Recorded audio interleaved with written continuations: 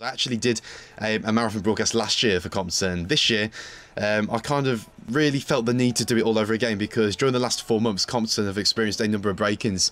Uh, six of their charity stores around the Wolverhampton area. Um, their last one being at the Birches Bridge store that you can find in Bilbrook.